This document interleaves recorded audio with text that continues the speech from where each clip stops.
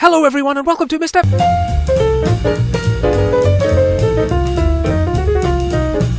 This is Africa, and here's Gabon. Now let's see what happened once Gabon a time, shall we? Gabon's early days resembled that of its neighbors, in that it was initially populated by Pygmy people before being taken over by migrations of persons speaking the Bantu languages, who form the ethnic majority of the region to this day. In Gabon, these tribes became the Fang and the Kota, and many more, patriarchal, polygamous societies of ancestor worshippers. The first Europeans to sight Gabon were the Portuguese in 1472, and they began trading with the people of Gabon as did other Europeans in the following century. Around 1700, a coastal kingdom arose called Orungu, which grew rich off exporting many commodities, including slaves. And in 1722, the famous Welsh pirate Black Bart was killed in action in the waters of Gabon, shot through the neck and buried at sea. The kingdom declined in the latter 19th century as slavery diminished, and the colonial French were increasingly making their presence known. One explorer even founding a city in Gabon called Franceville. Not very imaginative, but the message was clear enough. In 1880, 1885, France claimed Gabon, making its control official in the early 20th century. And as you can see, the people of Gabon were very thrilled. France would rule until 1960, when Gabon gained independence. Léon Mba became the first president, and he quickly became a dictator, and would personally whip anyone in the street who didn't salute him. He was followed by Omar Bongo, who ruled from 1967 until his death in 2009. He let France suck up Gabon's oil in exchange for making sure he remained in power. And while he allowed some of the massive flow of money to go to building up the country, and thus placating the populace, he let a lot more of the riches stay in his own hands so he could buy fancy cars and giant mansions. He was followed by his son Ali, who in 2019 withstood an attempted coup. Today, Gabon has a high level of human development, but a considerable unevenness of wealth distribution, with a lot of the population struggling in poverty. What awaits Gabon in the years ahead? Comment below, but for now, bye bye!